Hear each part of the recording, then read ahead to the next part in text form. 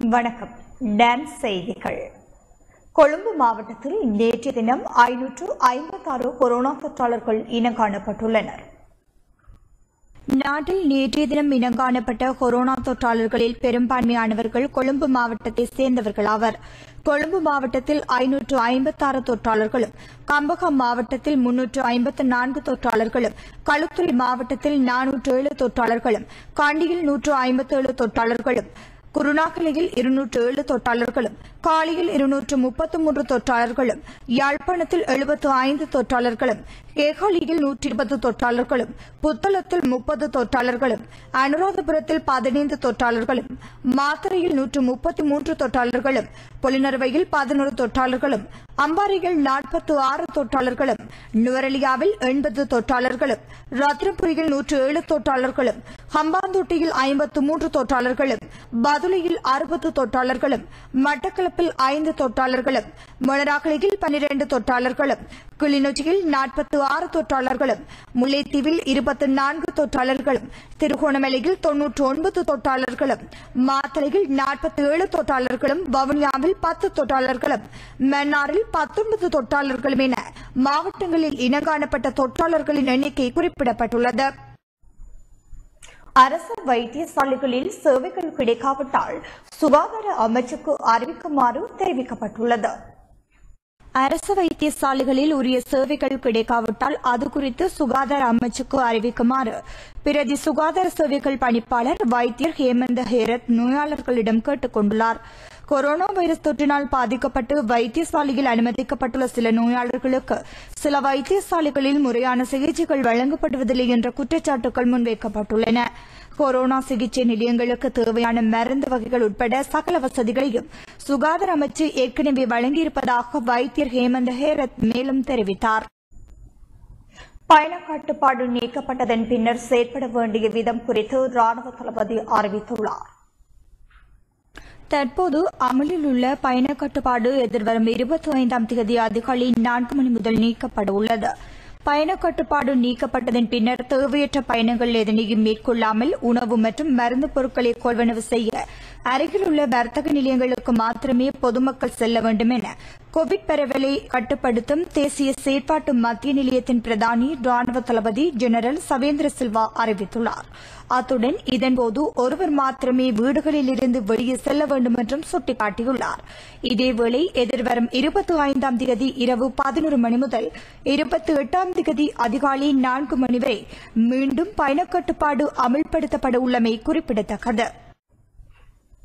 நாடளாவிய ரீதியில் பயண கட்டுப்பாடு அமல்படுத்தப்பட்டுள்ளதால் கிழக்கு மாகாணம் வெறிச்சோடி காணப்படுகின்றது. நாடளாவிய ரீதியில் பயணக்கட்டுப்பாடு அமல்படுத்தப்பட்டுள்ளதால் மட்டக்களப்பு நகரம் மக்கள் நடமாட்டமின்றி வெறிச்சொடி காணப்படுகின்றது. இதேவேளை வீதிகளில் பாதுகாப்பு தரப்பினர் பாதுகாப்பு கடமைகளில் ஈடுபட்டுள்ளனர். நாட்டில் கோவிட் தொற்று பெரும் ஆபத்தாக மாறியுள்ள நிலையில் நாடு முழுவதுமான பயண கட்டுப்பாடு நேற்று முன்தினம் இரவு பதினோரு மணி முதல் அமலுக்கு வந்துள்ளது.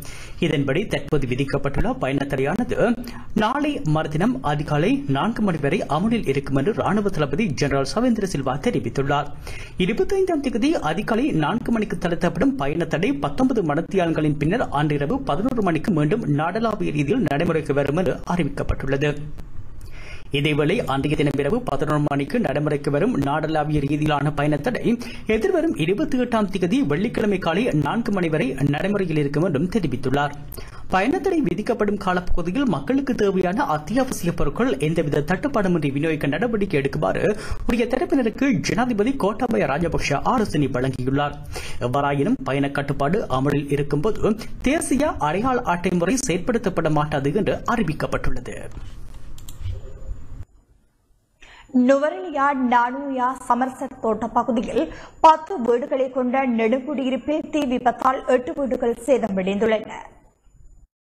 நுவரெலியா நானூயா போலீஸ் பிரிவுக்குட்பட்ட நானூயா சமர்செட் தோட்ட பகுதியில் பத்து வீடுகளை கொண்ட நெடுங்குடியிருப்பில் இன்று காலை ஒன்பது முப்பது மணியளவில் ஏற்பட்ட தீ விபத்தில் எட்டு வீடுகள் தீக்கிரையாக்கின இதில் நான்கு வீடுகள் முழுமையாகவும் நான்கு வீடுகள் பகுதியளவிலும் சேதமாகியுள்ள நிலையில் அவ்வீடுகளில் குடியிருந்த எட்டு குடும்பங்களைச் சேர்ந்த முப்பத்தேழு பேர் பாதிக்கப்பட்டுள்ளனர். தீ விபத்தால் உயிர் சேதம் எதுவும் ஏற்படாத போதிலும் பெருமளவில் பொருட்சேதங்கள் ஏற்பட்டுள்ளன.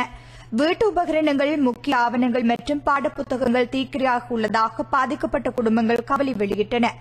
பாதிக்கப்பட்டவர்கள் சுகாதார நடைமுறைகளை பின்பற்றி தோட்ட வாசக சாலையில் தங்க வைக்கப்பட்டுள்ளனர்.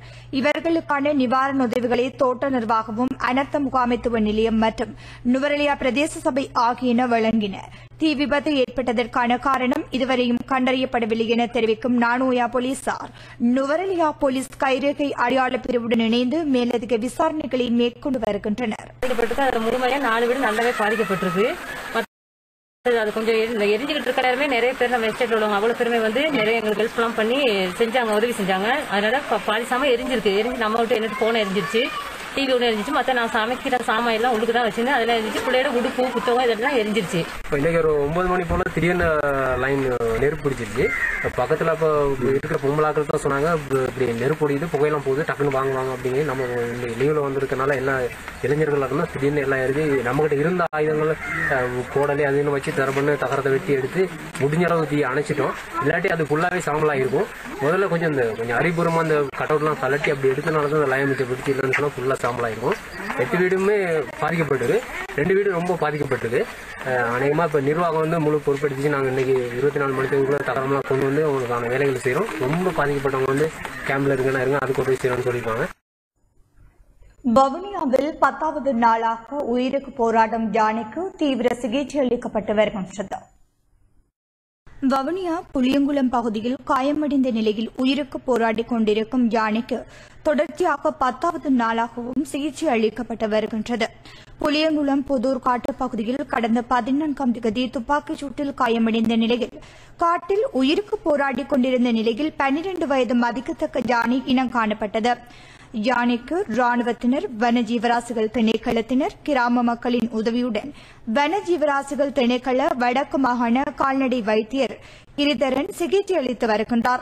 காயமடைந்த யானையை ஆபத்தான நிலையிலிருந்து காப்பாற்றும் நோக்கோடு குறித்த இடத்தில் பாதுகாப்பான தளம் ஒன்று அமைக்கப்பட்டு தொடர்ச்சியாக சிகிச்சை அளிக்கப்பட்டு வருகின்றது. நேற்றைய தினம் மாவட்ட அரசு அதிபர் சமன் பந்துலசேன உதவி மாவட்ட செயலாளர் சவர்ஜா வவுனியா வடக்கு பிரதேச செயலாளர் பிரதாபன் ராணுவ உயரதிகாரிகள் போலீஸ் உயரதிகாரிகள் மடுக்கந்தி பௌத்த துறவி மற்றும் வன்யஜீவராசிகள் திணைக்களத்தினர் சம்பவ இடத்துக்கு சென்று யானையினை பார்வையிட்டதோடு யானையை விரைவில் குணப்படுத்துவது தொடர்பான மாற்று வழி குறித்தும் கலந்துரையாடினர். பௌத்த துறவியால் பிரித்தொதல் வழிபாடு இடம்பெற்று யானை உணவுகளும் வழங்கப்பட்டன. தனிமைப்படுத்தல் சட்டத்தை மீறிய அமெரிக்கர் கைது செய்யப்பட்டுள்ளார். தனிமைப்படுத்தல் சட்டத்தை மீறி அம்பாறை பொத்துவில் அருகம்பை பகுதியில் உள்ள சுற்றுலா விடுதியொன்றில் தங்கியிருந்த வெளிநாட்டவர் கைது செய்யப்பட்டுள்ளார். முப்பத்தோரு வயதுடைய அமெரிக்க நாட்டவர் ஒருவரே இவ்வாறு கைது செய்யப்பட்டுள்ளதாக தெரிவிக்கப்படுகின்றது. குறித்த நபரை நீதிமன்றத்தில் ஆஜர்படுத்திய சந்தர்ப்பத்தில் அவருக்கு பிணை வழங்கப்பட்டதாக போலீஸ் ஊடக பேச்சாளர் தெரிவித்துள்ளார். கடந்த இருபத்தி நான்கு மணித்தியாலத்தில் தனிமைப்படுத்தல் சட்டத்தை மீறிய முன்னூற்று அறுபத்தி ஒன்பது பேர் கைது செய்யப்பட்டுள்ளதாக சுட்டிக்காட்டும் போலீஸ் ஊடக பேச்சாளர்.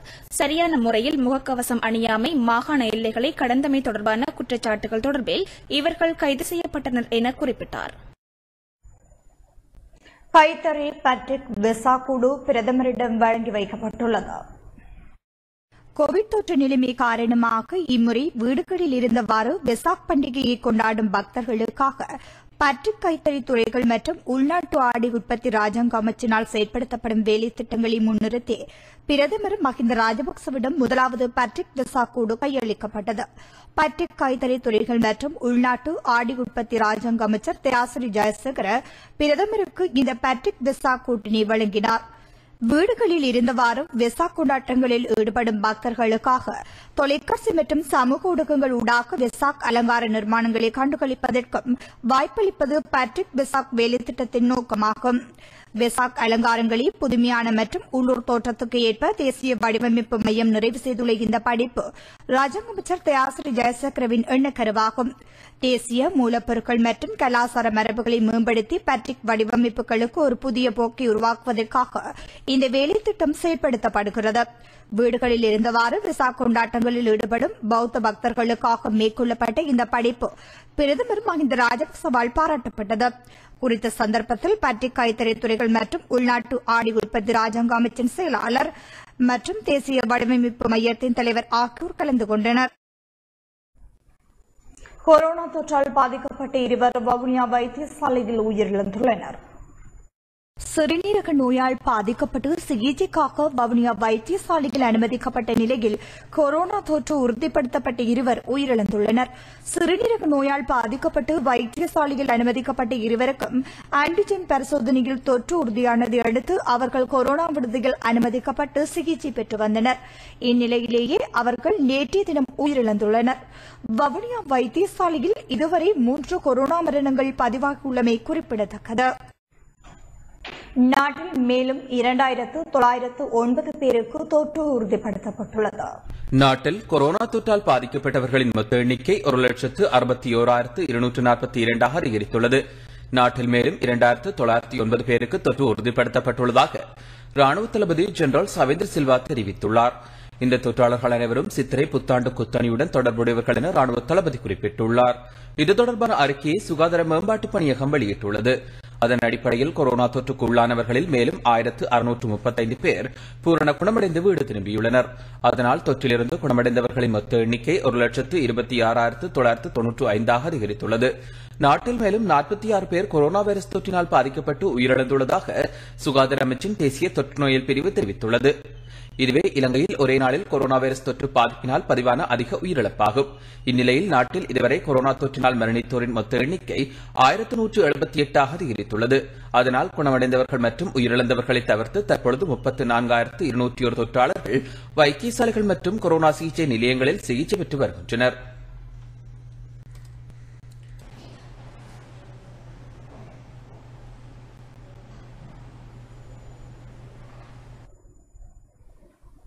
எதிர்கட்சி தலைவர் சஜித் பிரேமதாசவிற்கு கொரோனா தொற்று உறுதி செய்யப்பட்டுள்ளது.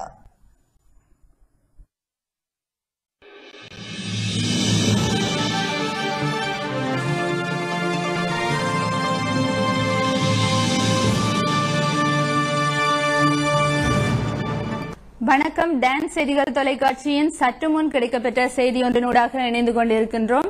அதாவது எதிர்க்கட்சி தலைவர் சஜித் பிரேமதாசவுக்கும் அவருடைய பாரியாருக்கும் கொரோனா வைரஸ் தொற்று உறுதி செய்யப்பட்டிருக்கின்றது. அவருடைய ஊடகம் இதனை ம், உறுதிப்படுத்தி இருப்பதான செய்திகள் வெளியாகி இருக்கின்றன. அதாவது சஜித் பிரேமதாசவனுடைய பாரியாருக்கு நேற்றைய தினம் மேற்கொள்ளப்பட்ட பிசிஆர் பரிசோதனைகளில் அவருக்கு கொரோனா வைரஸ் தொற்று இருப்பது உறுதி செய்யப்பட்டிருந்தது. அதனை அடுத்து சஜித் பிரேமதாஸ் அவர்களும் பிசிஆர் பரிசோதனையை மேற்கொண்டிருந்தார். ஆகவே அந்த பிசிஆர் பரிசோதனை முடிவுகளுக்கமைய அவருக்கும் கொரோனா வைரஸ் தொற்று உறுதி உறுதி செய்யப்பட்டிருக்கின்றது. ஆகவே இருவரும் தற்போது வைத்தியசாலையில் அனுமதிக்கப்பட்டு சிகிச்சை பெற்று வருகின்றார்கள். இந்த செய்தியை மீண்டும் ஒருமுறை உங்களுக்கு அறிய தருகின்றோம்.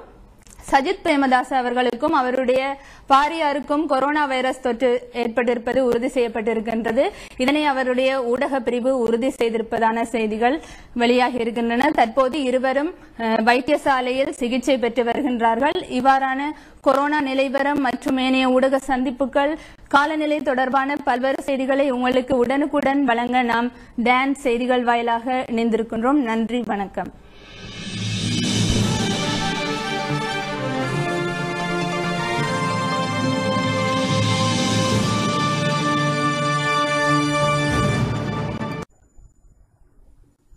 வவுனியாவில் சிறை கைதிகளுக்கு கொரோனா தொற்று உறுதி செய்யப்பட்டுள்ளது. வவுனியாவில் சிறைச்சாலை கைதிகள் பத்து பேருக்கு கொரோனா தொற்று உறுதி செய்யப்பட்டுள்ளது. வவுனியாவில் இனங்காணப்பட்ட கொரோனா தொற்றாளர்களுடன் தொடர்புகளை பேணியவர்கள் மற்றும் வைத்தியசாலைகளில் சிகிச்சைக்காக அனுமதிக்கப்பட்டவர்களிடம் மேற்கொள்ளப்பட்ட பிசிஆர் பரிசோதனை முடிவுகள் வெளியாகியுள்ளன. அதில் வவுனியா சிறைச்சாலையில் தடுத்து வைக்கப்பட்டுள்ள கைதிகள் பத்து பேருக்கு கொரோனா தொற்று உறுதி செய்யப்பட்டுள்ளது. தொற்றாளர்களை கொரோனா சிகிச்சை நிலையத்திற்கு அனுப்பி வைக்க நடவடிக்கை எடுக்கப்பட்டுள்ளதுடன் அவர்களுடன் தொடர்புடையவர்களை தனிமைப்படுத்தவும் சுகாதார பிரிவினர் நடவடிக்கை எடுத்துள்ளனர். நாட்டில் கொரோனா தொற்றை கட்டுப்படுத்துவதற்கான தீர்மானம் பல்வேறு தரப்பினரால் எடுக்கப்படுவதால் சிக்கல் ஏற்பட்டுள்ளதாக சமூக மருத்துவ அதிகாரிகள் சங்கம் குற்றம் சாட்டியுள்ளது. கொரோனா தடுப்பூசி திட்டத்தில் குளறுபடி இடம்பெறுவதாக சமூக மருத்துவ அதிகாரிகள் சங்கம் குற்றம் சாட்டியுள்ளது. நாட்டில் தடுப்பூசி ஏற்றும் செயற்திட்டம் தொடர்பில் இலங்கை சமூக மருந்து அதிகாரிகள் சங்கத்தினால் வெளியிடப்பட்டுள்ள ஊடக அறிக்கையில் இவ்வாறு தெரிவிக்கப்பட்டுள்ளது. நாட்டில் தற்போது கொரோனா தொற்றை கட்டுப்படுத்துவதற்கான தீர்மானம் பல்வேறு தரப்பினரால் எடுக்கப்படுகின்றமை முறையான ஒருங்கிணைப்பின்மை என்பவற்றால் கொரோனா தொற்றை கட்டுப்பாட்டில் கொண்டு வருவதில் சிக்கல் நிலை ஏற்பட்டுள்ளதாக அந்த அறிக்கையில் தெரிவிக்கப்பட்டுள்ளது. தீர்மானங்களை அவசரமாக எடுப்பதால் தடுப்பூசி ஈட்டும் செயற்திட்டத்தை நடைமுறைப்படுத்துவதற்கான தெளிவான முறைமையொன்றை அடையாளம் காண முடியாமல் போயுள்ளதாகவும் இதனால் தடுப்பூசி செயற்திட்டம் குழம்பியுள்ளதாகவும் இலங்கை சமூக மருத்துவ அதிகாரிகள் சங்கத்தின் ஊடக அறிக்கையில் சுட்டிக்காட்டப்பட்டுள்ளது. இதற்கமைவாக நாட்டில் தடுப்பூசி ஏற்றும் செயற்திட்டத்தில் காணப்படும் பிரதான சிக்கல்கள் சிலவற்றை சங்கம் இனங்கண்டுள்ளது. சிக்கல்கள் மற்றும் இறப்புகளை குறைக்கும் நோக்கில் குறைந்த எண்ணிக்கையிலான தடுப்பூசிகளுக்கு முன்னுரிமை அளிக்க இந்த முயற்சியும் எடுக்கப்படவில்லை. இப்போது மட்டுப்படுத்தப்பட்ட அளவில் காணப்படும் தடுப்பூசிகளின் அளவு மற்றும் கொரோனா மரணங்களை தவிர்ப்பதற்கான இலக்கிற்கு முன்னுரிமை அளித்து எந்த ஒரு முயற்சியும் எடுக்கப்படாமை பலவீனமான திட்டமிடலின் காரணமாக கேள்வி மற்றும் விநியோகத்திற்கு இடையில் பொருத்தமின்மை தடுப்பூசி செலுத்தும் நடவடிக்கைக்கு தடைகளை ஏற்படுத்தும் வகையில் அனாவசியமானவர்கள் தேவைக்கு மேலதிகமாக இணைத்துக் கொள்ளப்படுகின்றமை முன்னறிவித்தலுக்கான தொடர்பாடல் வசதி போதுமான அளவு இல்லாமை அனைத்து மாவட்டங்களிலும் ஏற்படுத்தப்பட்டுள்ள நிச்சயமற்ற தன்மை என்பன அந்த சிக்கல்களாகும். மேலும் அரசியல்வாதிகள் மற்றும் பல்வேறு ஊடகங்களினால் வெளியிடப்படும் அறிவிப்புகள் காரணமாக இதுவரை வெற்றிகர தீவிரமாக முன்னெடுக்கப்பட்டு வந்த தேசிய நோய் தடுப்பு திட்டத்திற்கு அபகீர்த்தி ஏற்படும் வாய்ப்புள்ளதாக இலங்கை சமூக மருத்துவர் சங்கத்தின் ஊடக அறிக்கையில் சுட்டிக்காட்டப்பட்டுள்ளது. இதனால் கண்டனங்களை தெரிவிப்பதாகவும் அந்த சங்கம் தெரிவித்துள்ளது. ஆகவே எந்தொரு புற அழுத்தங்களும் இன்றி தடுப்பூசி திட்டத்தை முன்னெடுப்பதற்கான பொருத்தமான சூழலை துறைசார் அதிகாரிகளுக்கு வழங்குவதற்கான நடவடிக்கைகளை எடுக்குமாறு இலங்கை சமூக மருத்துவர்கள் சங்கம் கோரிக்கை விடுத்துள்ளது. அரசின் அதிகாரம் நாடாளுமன்றத்துக்குள் மட்டுமே உள்ளது என நாடாளுமன்ற உறுப்பினர் ராஜித சேனாரத்ன தெரிவித்துள்ளார் அரசாங்கத்தின் அதிகாரம் பாராளுமன்றத்திற்குள் மட்டுமே உள்ளது நாட்டில் இல்லை என நாடாளுமன்ற உறுப்பினர் ராஜித சேனாரத்ன தெரிவித்துள்ளார் எதிர்க்கட்சித் தலைவர் அலுவலகத்தில் நடைபெற்ற ஊடகவியலாளர் சந்திப்பில் இவ்வாறு தெரிவித்தார் පහුවෙන්න හේතුව මොකද ලොක්ඩවුන් කිරි දැවැත්තුවා නවත්තලා බරාය පනත ගෙනාව පාර්ලිමේන්තුවට. බරාය පැනති ඉවර කල්ලා නැවත ලොක්ඩවුන් යනවා. தொற்று நோய் நாட்டை கடுமையான மட்டத்தில் பாதித்துக் கொண்டிருக்கும் நேரத்தில் எல்லா விடயங்களையும் ஒதுக்கி வைக்கப்பட்டு துறைமுக நகர சட்டம் பாராளுமன்றத்தில் சமர்ப்பிக்கப்பட்டது. சட்டம் நிறைவேறும் நாள் வரை நாட்டை திறந்து விட்டவர்கள் நிறைவேறியதும் நாட்டை முடக்கியுள்ளனர். மனித வாழ்க்கையை விட துறைமுக சட்டம் முக்கியமானது என்பதே அரசாங்கத்திற்கு முன்னுரிமை என தெளிவாக தெரிகின்றது. நாட்டின் மருத்துவ சங்கத்தின் தலைவர் பத்மா குணரத்ன குறிப்பிட்டுள்ள விடயம்தான். தற்போதைக்கு அவசரமாக சினோஃபார்ம் தடுப்பூசி போடுவதல்ல முக்கியம். நாட்டை முடக்க வேண்டும் என்பதே என்று சுட்டிக்காட்டியுள்ளார். அரசாங்கம் ஏன் இவ்வளவு அவசரத்தில் இருக்கின்றது? துறைமுக நகரத்திற்கான அரசாங்கத்தின் அவசரத்தை போல் மருத்துவ சங்கங்கள் கூறும் விடயங்களை ஏன் அரசாங்கம் ஏற்கவில்லை? நாட்டுக்கு மருந்துகளை கொள்வனவு செய்யும் உறுப்பினர்கள் தொடர்பாக ஆராய்ந்தோம். இதில் வைத்தியர் ஆனந்த விஜய் விக்ரம வைத்தியர் ஹசித திசேர வைத்தியர் பிரசன்ன குணசேன ஆகியோர் நியமிக்கப்பட்டுள்ளனர். இவர்கள் மருந்துகள் தொடர்பான விசேட நிபுணத்துவத்துடன் அற்றவர்கள்.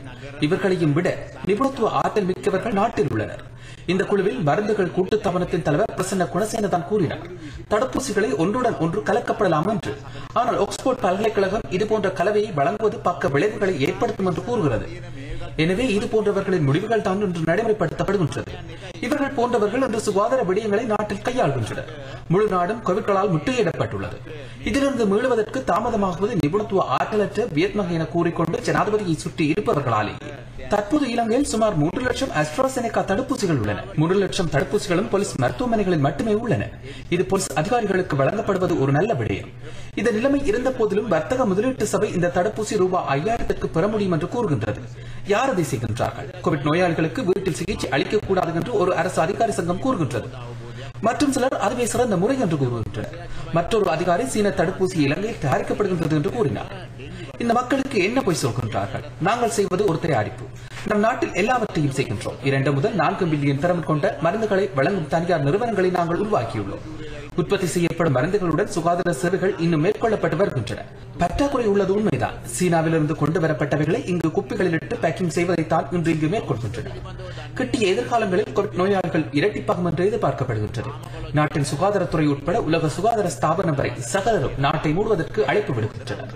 ஆனால் அரசாங்கம் துறைமுக சட்டமூலத்திற்கு முக்கியத்துவம் கொடுத்து செயற்படுகின்றது. தேசபக்தர்கள் யார் என்பதை இந்த நாட்டு மக்கள் புரிந்து கொள்வார் உண்மையான தேசபக்தி வாயில் அல்ல மனதில் உள்ளது. துறைமுக நகரின் நிதி அதிகாரம் நாடாளுமன்றத்தில் இல்லை. கோப் மற்றும் கோபா குழுக்களும் பொறுப்பு கூற வேண்டியதில்லை. அலிசப்ரிக்கு மார்க்கத்திற்கு துரோகம் இழைக்க முடியும் என்றால் நாட்டிற்கு துரோகம் இழைப்பது பெரிய விடயம் அல்ல நாட்டை காட்டிக் கொடுப்பது ஒரு பெரிய விடயம் அல்ல இந்த துறைமுக நகரத்தில் ஒரு போலீஸ் படையை அமைக்குமாறு நாங்கள் போலீசாரிடம் கூறினோம். இந்த சட்டத்தின் 75 விதிகளில் 25 சரத்துக்கள் அரசியலமைப்பிற்கு புறம்பானது என்று உச்சநீதிமன்றம் தீர்ப்பளித்துள்ளது கொடுக்க விரும்புவோர் இங்கே 21 சட்டங்களை அமல்படுத்த முடியாது. இன்று மொட்டுடன் உடன்பட்ட ஸ்ரீலங்கா சுதந்திர கட்சியின் முடிவால் ஸ்ரீலங்கா சுதந்திர கட்சியினரும் வருத்தப்படுகின்றார்கள் இந்த அரசாங்கத்தின் அதிகாரம் பாராளுமன்றத்திற்குள் மட்டுமே உள்ளது நாட்டில் இல்லை ඩොක්ට පත්මා ගුණරත්න කියනවා lockdown not Sinopharm immediate solution. මේ ඉතාමත්ම හදිසි අවශ්‍යතාවය සිනෝෆාම් සයිනෝෆාම් එන්නත නෙවෙයි ලොක්ඩවුන් එක කියලා. மன்னார் குருசுகோவில் பகுதியில் தொடர்ச்சியாக திருட்டு சம்பவத்தில் ஈடுபட்டு வந்த நபர் அப்பகுதி இளைஞர்களினால் மடக்கி பிடிக்கப்பட்டார்.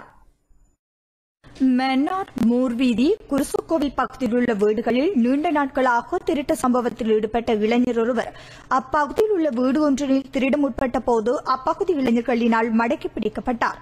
குறித்த பகுதியில் உள்ள வீடுகளில் தொடர்ச்சியாக கோழிகள் திருட்டு போவதோடு வீடுகளில் உள்ள துவிச்சக்கர வண்டிகள் உட்பட பெறுமதியான பொருட்கள் நாளாந்தம் திருட்டு போவதாக அப்பகுதி மக்கள் தெரிவித்தனர்.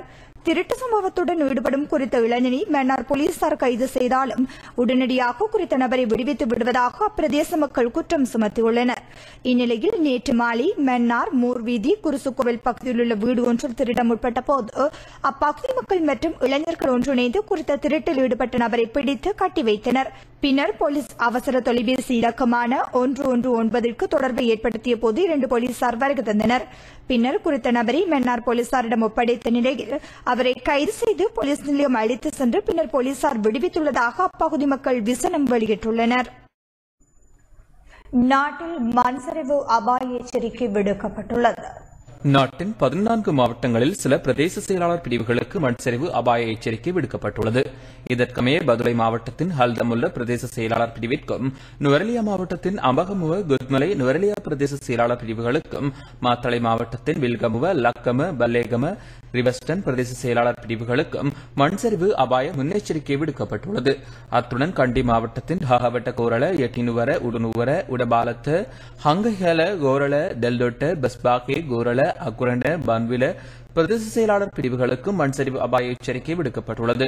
கேகாலை மாவட்டத்தின் அரநாய்க்கு புலதுகப்பட்டிய எட்டியாந்தோட்ட திரணியகல தெஹியோவிட்ட பிரதேச செயலாளர் பிரிவுகளுக்கும் ரத்தனபுரி மாவட்டத்தின் ரத்தனபுரி குருவிட்ட எஹலியகுட கிரியல்ல அயகம கலவான நிவித்திகல எலபாத்த பெல்மடுல்ல ககவத்த ஒபநாயக்க பலாங்குட ஆகிய பிரதேச செயலாளர் பிரிவுகளுக்கும் மண்சரிவு அபாய எச்சரிக்கை விடுக்கப்பட்டுள்ளது.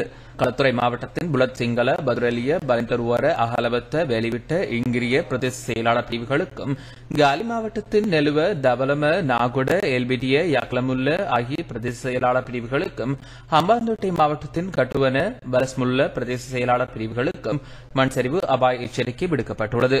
இவை தவிர குர்நாகல் ஹம்பஹா கேகாலை மற்றும் கொழும்பு ஆகிய மாவட்டங்களின் சில பகுதிகளுக்கும் மண் சரிவு அபாய எச்சரிக்கை விடுக்கப்பட்டுள்ளது. வன்னிய தமிழ் ஊடகவியலாளர் சங்கத்தினால் வறுமைக்கோட்டின் கீழ் வாழும் மாணவியொருவருக்கு துவிச்சக்கர வண்டி அன்பளிப்பு செய்யப்பட்டுள்ளது. வன்னி தமிழ் ஊடகவியலாளர் சங்கத்தினால் பாதிக்கப்பட்ட மாணவிக்கு துவிச்சக்கர வண்டியும் கற்றல் உபகரணமும் வழங்கி வைக்கப்பட்டுள்ளது. வவுனியா வடக்கு நெடுங்கணி ஒழுமடு தமிழ் மகாவித்தியாலயத்தில் கற்கும் மாணவிக்கு துவிச்சக்கர வண்டியை வன்னி தமிழ் ஊடகவியலாளர்கள் அமைப்பு வழங்கி கற்றல் நடவடிக்கைகளுக்கு உதவியளித்துள்ளது. கிளிநொச்சி பள்ளி தம்பகாமம் குளத்திலிருந்து பெண்ணொருவரின் சடலம் மீட்கப்பட்டுள்ளது. கிளிநொச்சி பச்சிலிப்பள்ளி பழி தம்பகாமம் குளப்பகுதியிலிருந்து பெண்ணொருவரின் சடலம் மீட்கப்பட்டுள்ளது.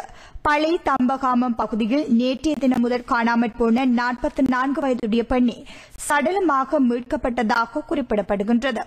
காணாமற் போன பெண்ணி நேற்றைய தினத்திலிருந்து குடும்ப உறவினர்கள் தேடி வந்த நிலையிலேயே அவர் சடலமாக மீட்கப்பட்டுள்ளார். சடலம் மீட்கப்பட்ட சம்பவம் தொடர்பில் பழி போலீசார் விசாரணைகளை முன்னெடுத்து வருகின்றனர். யாழ்ப்பாணம் தொண்டமெனாரில் ராணுவத்தினரால் நூற்றி இருபது கிலோ கஞ்சாம் மீட்கப்பட்டுள்ளது. யாழ்ப்பாணம் வடமராட்சி தொண்டமனாறு கடலின் ஊடாக கொண்டுவரப்பட்ட சுமார் நூற்றி இருபது கிலோ கஞ்சாவை ஊரிக்காட்டு ராணுவ முகாமை சேர்ந்த ராணுவத்தினர் கைப்பற்றியுள்ளனர். இன்று அதிகாலை குறித்த கடற்பரப்பின் ஊடாக கொண்டுவரப்பட்ட கடற்கரையில் பாதுகாப்பாக வைக்கப்பட்டிருந்த நிலையிலேயே ராணுவத்தினரால் கஞ்சா பொதிகள் மீட்கப்பட்டுள்ளது. சம்பவம் தொடர்பில் எவரும் கைது செய்யப்படாத நிலையில் ராணுவத்தினரும் போலீசாரும் இணைந்து மேலதிக விசாரணைகளை மேற்கொண்டு வருகின்றனர். ஆங் சாங் சூகி நலமுடன் உள்ளதாக மியான்மர் ராணுவ தளபதி அறிவித்துள்ளார். ஆங் சாங் சூகி நலமுடன் உள்ளதாக மியான்மர் ராணுவ தளபதி மின் அங் ஹலிங் அறிவித்துள்ளார். மியான்மர் நாட்டில் கடந்த பிப்ரவரி மாதம் முதலாம் தேதி முதல் ராணுவ ஆட்சி நடைபெற்று வருகிறது. மக்களால் தேர்ந்தெடுக்கப்பட்ட பிரதமர் ஆங் சாங் சூகி உள்ளிட்ட பல்வேறு தலைவர்களை ராணுவம் கைது செய்து தனது கட்டுப்பாட்டில் வைத்துள்ளது. ஆங் சாங் சூகி வீட்டுக்காவலில் உள்ளார். ராணுவ ஆட்சிக்கு எதிராக மியான்மரில் மக்கள் பல மாதங்களாக போராட்டம் நடத்தி வருகின்றனர். போராட்டத்தில் ஈடுபட்டு வரும் மக்கள் மீது மியான்மர் ராணுவத்தினர் கடுமையான ஒடுக்குமுறைகளை பின்பற்றி வருகின்றனர். மியான்மரில் ராணுவம் நடத்தி வரும் தாக்குதலில் இதுவரை பொதுமக்கள் எண்ணூறுக்கும் மேற்பட்டோர் உயிரிழந்துள்ளனர். இதற்கிடையில் ராணுவ கட்டுப்பாட்டில் உள்ள ஆங் சங் சூகியின் உடல்நிலை மிகவும் மோசமாக உள்ளதாகவும் அவருக்கு சிகிச்சை தேவைப்படுவதாகவும் தகவல்கள் பரவின. அந்த தகவலுக்கு மியான்மர் ராணுவம் மறுப்பு தெரிவித்துள்ளது. இது தொடர்பாக மியான்மர் ராணுவ தளபதி மின் அங் ஹலிங் சமூக வலைதள பக்கத்தில் வெளியிட்டுள்ள அறிக்கையில் ஆங் சங் சூகி நல்ல உடல்நலத்துடன் உள்ளார். அவர் தொடர்ந்து வீட்டுக்காவலில் உள்ளார். அவர் இன்னும் சில நாட்களில் நீதிமன்றத்தில் ஆஜர்படுத்தப்பட உள்ளார் என தெரிவிக்கப்பட்டுள்ளது. அம்பாறை மாவட்டம் கல்முனி தமிழ் இளைஞர் சேனையினரால் யாசகர்களுக்கு உணவு விநியோகிக்கப்பட்டது. அம்பாறை மாவட்டம் கல்முனை தமிழ் இளைஞர் சேனையினரால் கல்முனை பிராந்தியத்தில் பொது இடங்களில் அனாதரவாக இருக்கும் ஜாசகர்களுக்கு தொடர்ச்சியாக பகல் மற்றும் இரவு உணவுகள் வழங்கப்பட்டு வருகின்றது. தற்போது கொரோனா தொற்று காரணமாக பயண கட்டுப்பாடு விதிக்கப்பட்டுள்ள நிலையில் இங்குள்ள ஜாசகர்கள் பலர் உணவின்றி பெரும் சிரமங்களுக்குள்ளாகி வருகின்றனர்.